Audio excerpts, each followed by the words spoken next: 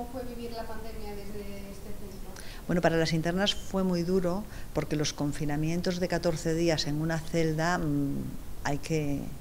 O sea, han sido, ha sido durísimo para ellas para todos los profesionales, porque ha sido un momento que se suspendieron todas las comunicaciones, aunque nuestra secretaría agilizó mucho el tema de las llamadas por WhatsApp, que eso, bueno, distensionó una mica mm, el ambiente, ¿no?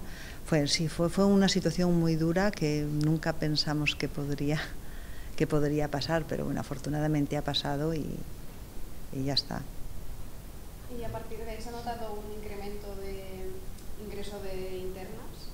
Sí, mm, después de la pandemia, lo que hemos notado, yo creo que es por efecto de la pandemia. Supongo que dentro de unos años que hagan un estudio tendrán claro cuáles son las razones.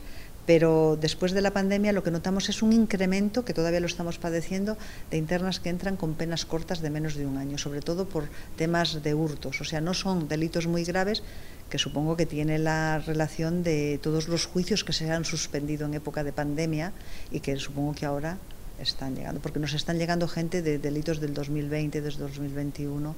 Hablamos sobre todo de delitos mmm, de hurto. Y esto es consecuencia directa de la pandemia, yo creo.